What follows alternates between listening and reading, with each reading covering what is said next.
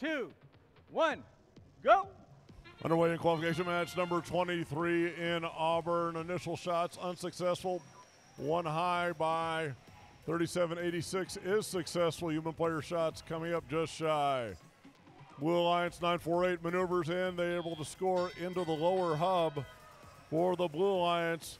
10 to 10. We're tied. Three cargo for blue, one cargo for red as the drivers take control of their machines. It's Xbot quickly back with a cargo for the lower hub, unsuccessful with their shot, however.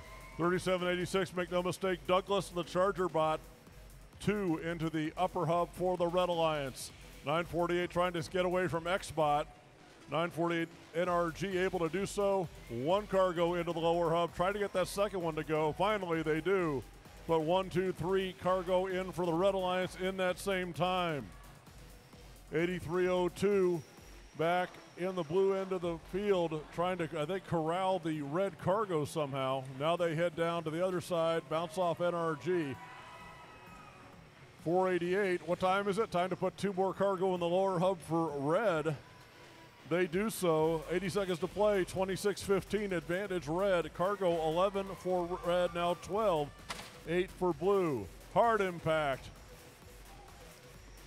as the scrappy machine from the Gators bounces off the outside wall, then offside the hub, bounces off there.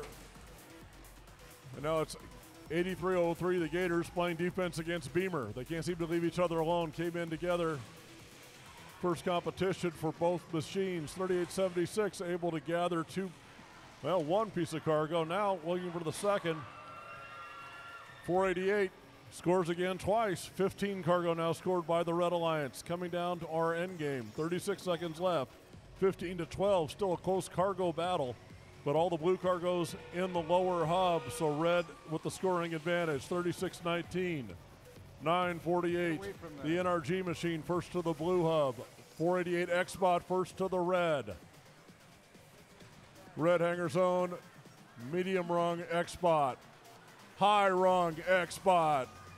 Traversal rung attempt by Xbot.